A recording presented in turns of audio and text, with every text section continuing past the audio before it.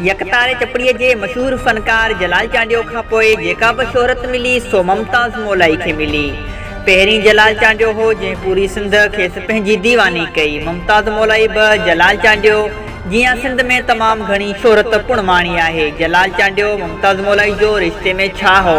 उहा तव्हांखे तफ़सीली रिपोर्ट हिन वीडियो में ॿुधाईंदसि त वीडियो खे एंड ताईं लाज़मी ॾिसंदा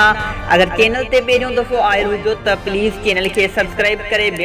प्रेस करे छॾींदा जीअं असांजी हर नई वीडियो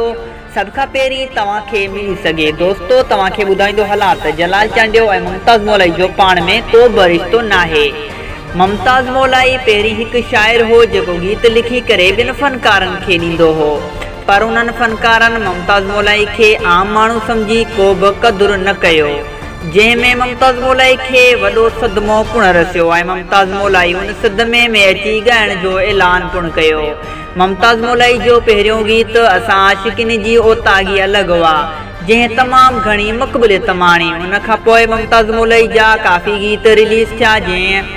में ममताज़ मोलाई के सिंध में सुठी मोट मिली है किंग ऑफ सिंध मुमताज़ मोलाई के नाले से मशहूर थो